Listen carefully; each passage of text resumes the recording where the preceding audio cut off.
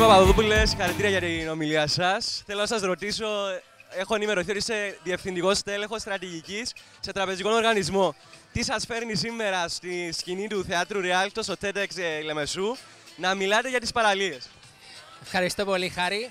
Ε, η θάλασσα είναι το πάθος μου και όσο παράξενο και να ακούγεται, συμπληρώνει η φωτογραφία και η θάλασσα την καθημερινότητα της δουλειάς μου και έτσι είναι ένας απίστευτος συνδυασμός. Τι συμβουλές έχετε να δώσετε στο κοινό που μας παρακολουθεί σχετικά με αυτόν τον χώμη που ακολουθείτε. Η Κύπρος είναι πανέμορφη. Ε, απλά πρέπει να την εξερευνήσουμε, πρέπει να πάμε να την απολαύσουμε και με αυτόν τον τρόπο θα μπορούμε να την προωθήσουμε. Τούτο είναι το πιο μεγάλο μήνυμα που θέλω να δώσω. Τι νομίζετε ότι λείπει από την Κύπρο; Τι λείπει από την Κύπρο. Η Κύπρος τα έχει όλα.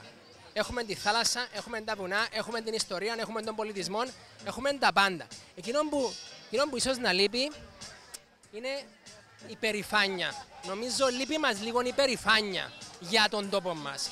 Και για να, πιστεύω ότι για, για κάποιος για να είναι περήφανος πρέπει να αγαπήσει πρώτα το αντικείμενο. Και για να το αγαπήσει πρέπει πρώτα να το γνωρίσει. Οπότε το, το μήνυμα μου είναι απλό.